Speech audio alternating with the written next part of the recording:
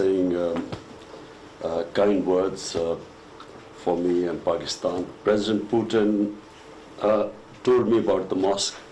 This grand mosque, it was built in 1915 and then it was again rebuilt uh, in 2014 or, or completed in 2014.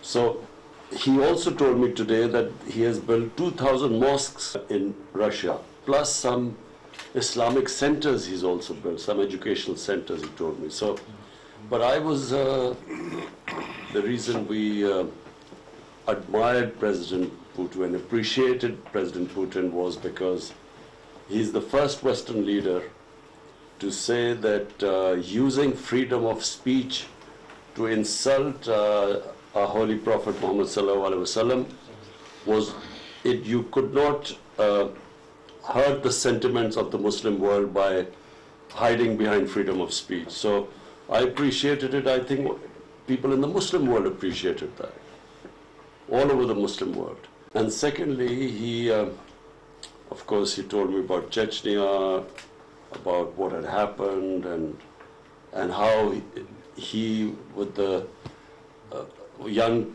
President Ramzan, how they built uh, Grozny, because I saw Grozny 24 years ago destroyed by war. So um, I, I had a very long conversation with President Putin, and what he told me was that there is no Islamophobia in Russia, which is why we uh, uh, really respect him.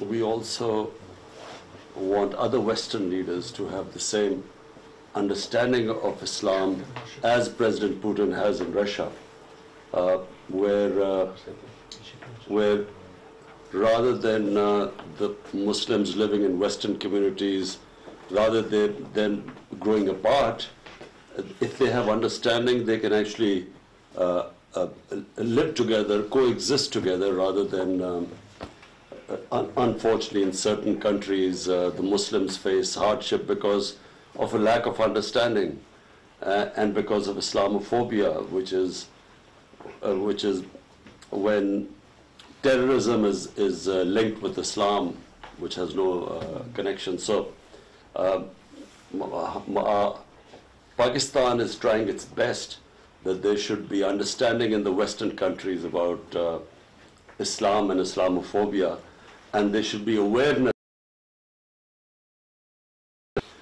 like India, go, suffer a lot because of uh, this uh, discrimination. I want to again thank you for inviting us here. Uh, for all my delegation, it's been a real pleasure. It's a beautiful mosque. It's uh, it is really a. I, I didn't expect such a huge mosque in the middle of Moscow.